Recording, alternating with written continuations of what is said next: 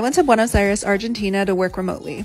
And I actually know quite a few people who have done the same thing recently due to the time zone similarity to the US, the cost effectiveness of the country right now, and the fact that it is summer over here and winter in the US. I start my day with my morning routine, which includes meditation, journaling, a quick HIIT workout from Pamela Reif, and of course, my skincare routine. I'm staying in Palermo, Hollywood, and there are so many beautiful cafes in this area, so I'll get ready and go to a cafe to work for the day.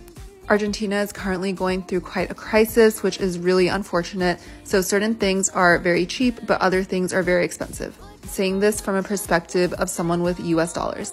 I went back to my Airbnb to finish up my workday, got ready for dinner and a interesting show that I went to with some friends. It was like a Brazilian dance party, which I was not dressed appropriately for. And after we went to dinner at Gardener, which is one of the best restaurants here in Buenos Aires. My Buenos Aires Hotspots guide is linked in my bio.